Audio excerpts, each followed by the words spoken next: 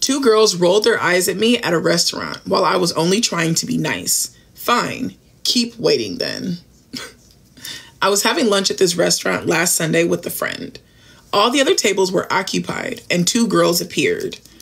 But since, yeah, two girls appeared. But since it was packed and there were no empty tables nor vacant seating, they stood there awkwardly looking around, waiting for some people to get up and to leave.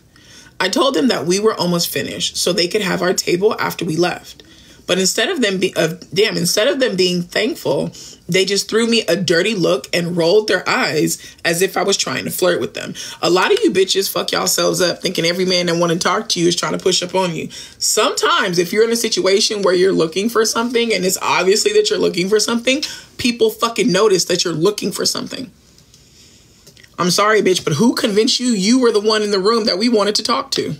That's how I feel. Like I walk into the room, like I demand everybody's attention when I walk into a room. I walk into the room as if I am the one y'all are looking for, but I don't expect everybody to be looking for me. You know, like I'm not gonna expect that. Like now you bitches gonna be standing here all day. they rolled their eyes as if I was trying to flirt with them.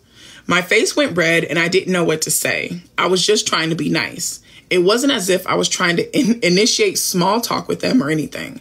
Then my embarrassment turned to anger. The least they could do is just nod their heads. Then I heard one of them say to other people, damn, say to others, maybe they should go to a different restaurant. Her friend said no, because this is the only Chinese restaurant in the vicinity of their place.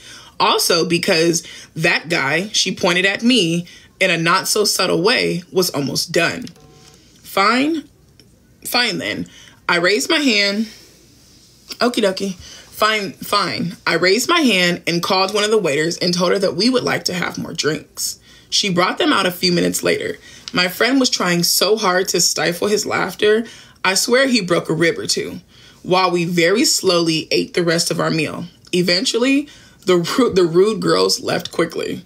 I fucking love it.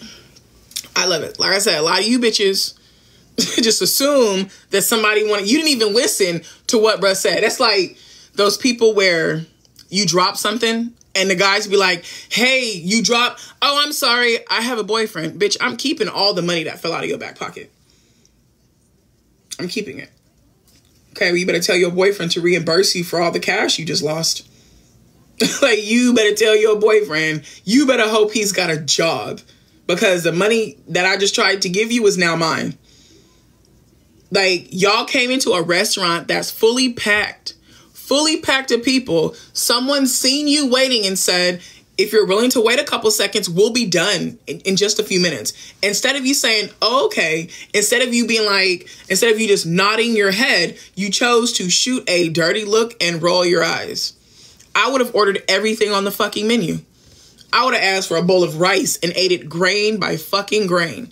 And then when y'all left, would have left so quickly, y'all would have seen me as you was leaving. Because what the fuck?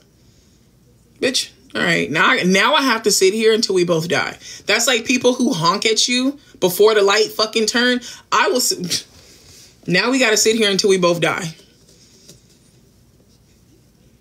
I hope you didn't have nothing to do today. I hope you didn't have anything to do today. Am I the asshole for telling my sister she should tell me what her and my daughter are going to be doing since I'm her mother? No. Because if you're not going to tell me where you taking my baby, you can't take my baby. Like that that's really how it goes. If you're not going to tell me where you taking my baby, she can't go. And I'm not about to let you make me the asshole. Make me the asshole All right. I, 38 female, have a 13 year old Kimberly. My sister Angela has lived with us since my family. Damn. My sister Angela lives with us since my family lives with my parents. Angela is 25 and she's more of the fun aunt. I hear because she lets Kimberly do whatever she wants. Now, as a mother, I don't want my child wearing makeup until she's 15 because one, she's going to ruin her skin since her body isn't even developed yet. Two, I don't think makeup is good for young girls because if you wear makeup, you're going to look older than what your actual age is. And they should just live their childhood and try not to grow up too fast. I agree. Well, thank you kindly, Puddin' Pump. I agree. Very much so, baby. Be a child for as long as you possibly can, dear. Be a child for as long. Growing up is not going there. It's going there. It's not going nowhere. Time is the one thing that we cannot escape, no matter how much we want to. It's you're still gonna grow up, baby. like just enjoy your life as it is right now. Just, I truly believe, yeah. My baby wore knocker balls beads. Yeah, my god baby wore all the little girl hairstyles as long as I could possibly make that shit happen. She had to tell me herself, I don't like the knocker balls no more. Okay. Okay. so, are we still cool with the beads? Yes, cool, cool, cool, cool, cool, cool. Cool. My baby had beads for every occasion Halloween, Thanksgiving, Christmas, Fourth of July, St. Patrick's Day, Pride, my baby had beads for everything. I beated her the fuck up until she was she was over the beads. so my baby gonna be a little girl for as long as I can. For as long as I can make her little you want Barbies? Okay. This year, my baby said I want jewelry and mascara. you sure? You don't you don't want an easy bake? They got different Barbies now. No. Okay. Okay. Nope, I just need a minute. It's okay. Like, my heart was broken. My heart was broken. I said, baby, what you want? She said, I want jewelry. I want a watch. You don't want to play Barbies with me no more? You know, you don't want a baby doll? She didn't want none of that shit. She didn't. no. Okay. Angela, damn, lets Kimberly wear whatever makeup she wants, which I don't like because I feel as the actual mother, she should talk to me about it first. Now, Kimberly has not talked to me about wanting to wear any type of cosmetic shit. And if she had, I would explain my reasoning. And if she really wants to wear it, I'll get it myself. But recently, Angela has been taking Kimberly to get her nails done and go shopping for inappropriate clothing, like crop tops and stuff. Oh, absolutely not. I've had a talk with her and I told her to tell me where they're going whenever they hang out because all the time they just say they're going to hang out and they don't give any details. She told me that I need to loosen up a little and tell me and telling me that being a being a strict parent isn't going to protect her. My husband said that what I told her was a little asshole like.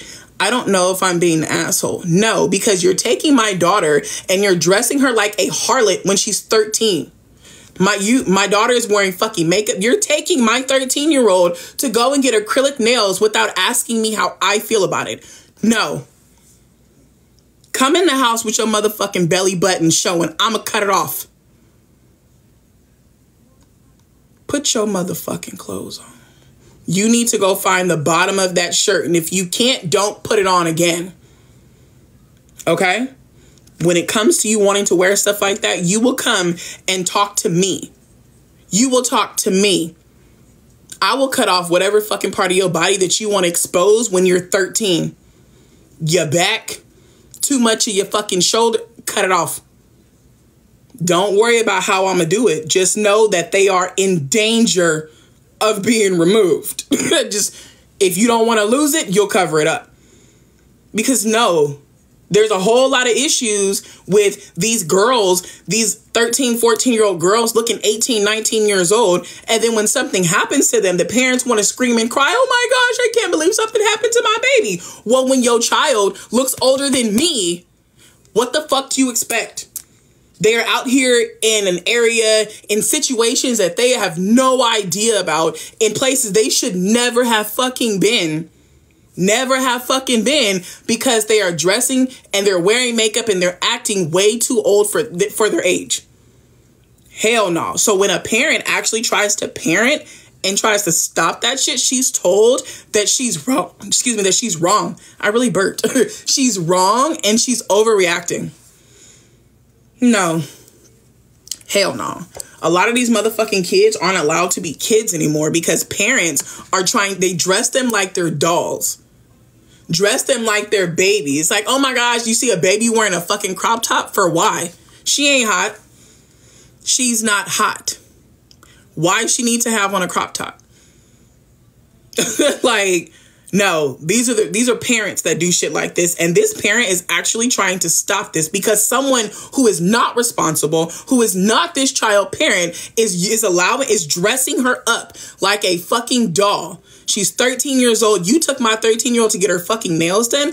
I would be the most hated person in the house because what we're gonna do is go upstairs and soak that shit off. Hell no. Because I life. I have always done what I wanted to do, but I can promise you what the fuck I never wanted to do was some shit I knew my mama was gonna box me upside the head for without asking her. That shit never crossed my mind. If I wanted to get my nails done, I'm gonna ask my mama. if I wanted to wear makeup, I'm going to ask my mother. Like, nah, mm-mm. I always did what I wanted to do, but I never wanted to do some shit I know that I needed to ask permission for. Like, and it's not even that the auntie's crossing the line. This girl is 13 fucking years old. She knows better. She knows exactly what how her mom feels about this shit. She does because there's a reason why she's allowing the fun aunt. She's going with the fun aunt for these things to happen because my mom would never let me buy anything like this. She fucking knows. She is she will be held accountable the same as the fucking sister because you're too old. Well, my aunt bought them for me. And since when have those pretty fingers that you got nails on stopped knowing how to text? You could have texted me and told me, Mom, Auntie so and so is taking me to the nail salon. Can I get my nails done? But because you don't want to ask and you assume that you have the right to do all of this, you will be punished as well. You will be. Because I don't know who the fuck you thought you, you were dealing with, but I'm the mother here. I am your mother. That means when there's certain things that's going down, you will ask me permission first. You will ask permission first. Like, no. Hell no. I never I will never understand somebody, my kids don't. I wish a fucking kid would tell me no. Because I'm not doing anything. I would never ask you to do something that's going to hurt you or harm you in any way, shape, or form.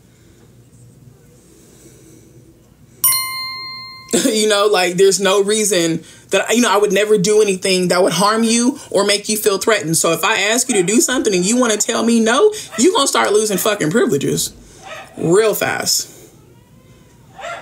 Real fast. She can't just wear kid makeup. No, she cannot. She's 13. She's going to be a little girl until she's grown enough to buy her own makeup. Then she can wear whatever the fuck she wants. But she can't just wear makeup. It doesn't matter what type of makeup. My mom did not allow me to wear any kind of makeup when I was little. Not the kid shit, not the fake lipstick, none of that shit. Because why? What are you practicing for? You don't need to practice for that shit right now. You don't need to do that. There is no I truly don't feel like there's a such thing as kid makeup. Like, like there's no because makeup is makeup. Lipstick is fucking lipstick. like there's no such thing as kid makeup. Like, you know, like no. No. Hell no. You no. If I say you can't wear no fucking makeup, you can't wear no makeup. If, if I, you know, like that's it and that's all. No, hell no. Mm mm mm. Hell no. I didn't start wearing makeup until I was 27. I think I went to the store and got my first Hi Michaela, you're here. Got my first little um like fucking liquid bottle and shit. And honestly, I think I've only bought two since then. you know, like I don't I just don't wear makeup. Honestly, like I, I I truly feel like you know we wear makeup for us. I don't wear makeup for you. I wear makeup because it makes me feel better. It makes me feel good about myself. There's certain insecurities about myself that I don't like that you know I want to cover up that make me feel better when they're covered up. 100% get that. I like didn't like the fact that I was hiding the things that I was insecure about with makeup instead of embracing the insecurity you know? Said that I'm being cruel for still expecting her to pay half of the rent. Well, bitch, were you living in half of the house? Were you living in half of the house? That's my question. I've been with my partner for nearly three years, and we've lived together for two years. I have no family or friends in the town that I currently live in, whereas my parent, my parents, my partner has her parents and a lot of friends here. We moved into a new apartment four months ago and signed a one year lease because we loved the apartment and the landlord prefers long term tenants, so they wouldn't do a six month lease. The lease is in both of our names and the landlord has both of our bank details. For rent, we both send half each. I've noticed that we are seeming more like friends than an actual couple. So I tried sitting down with my partner to talk through my concerns. She just brushed them off and said we were fine. I tried talking to her again a couple of weeks later, but she again dismissed my concerns. After the third time of trying to talk to her and getting dismissed, I told her I didn't think we were working. She asked what brought this on, and I told her I've been trying to talk to her about my concerns, and she refuses to listen to me. Um, yeah. She just repeated, that's because everything was fine. Bitch, it ain't fine if I'm trying to break up with you. I just told her that it wasn't, and that's what I've been trying to talk to her about.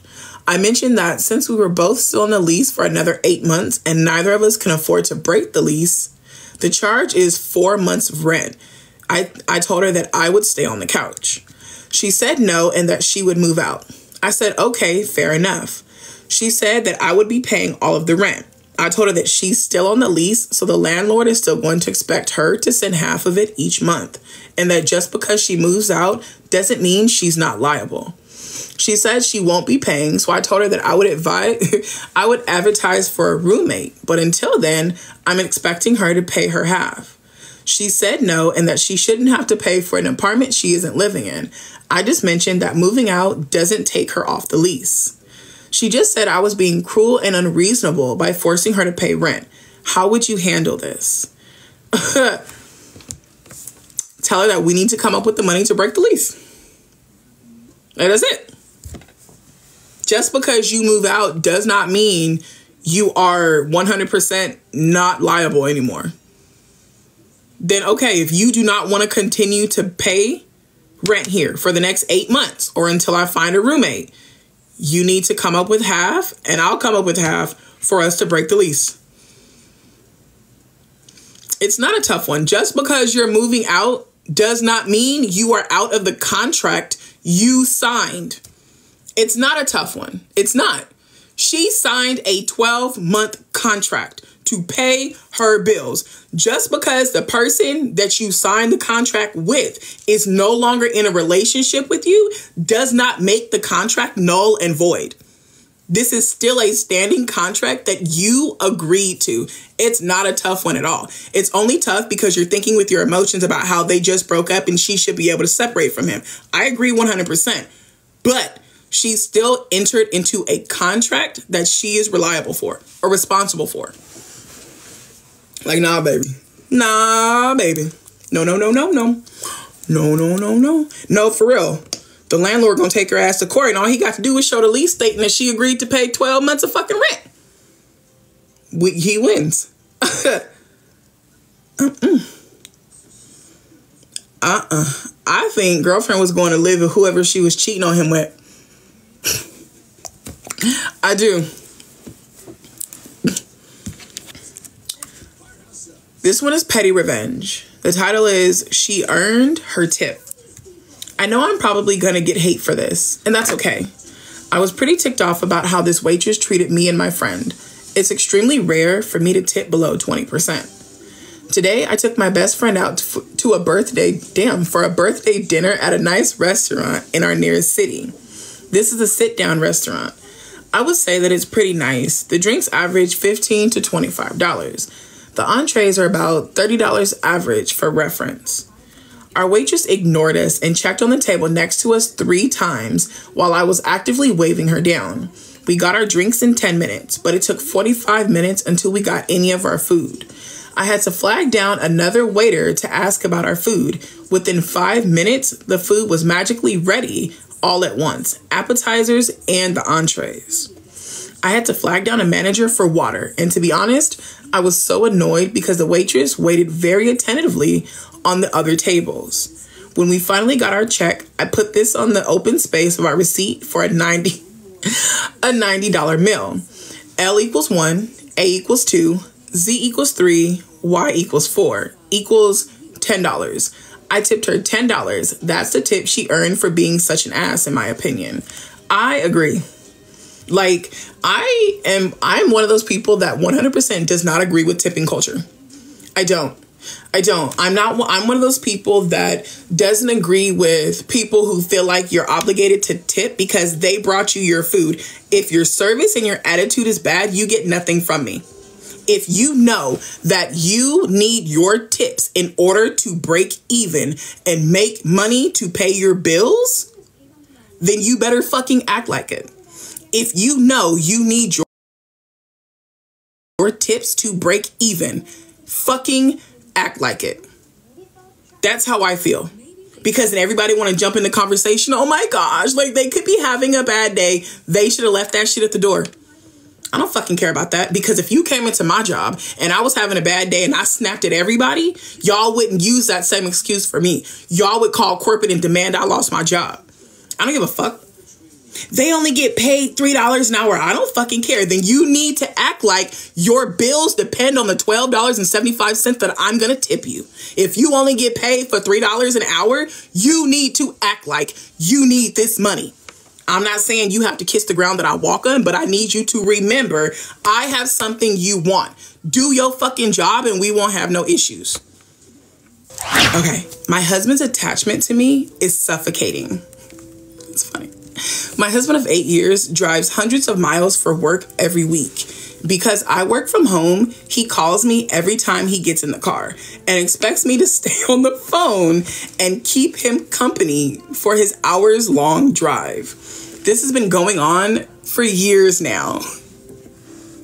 It's absolutely fucking maddening. When I don't have anything left to talk about, after our fifth hour on the phone, he'll tell me that I'm boring and start complaining that we're just another couple who have nothing to talk about. Bitch, we spend 500 hours on the phone a week. There is nothing to talk about. That's hilarious. Oh, I love her. She said, No, motherfucker. Most couples don't talk for dozens of hours on the phone every week.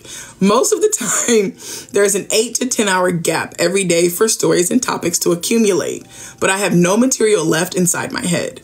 Everything I've seen and felt, I've already talked to you about. What else do you fucking want from me? I'm running on brain fumes.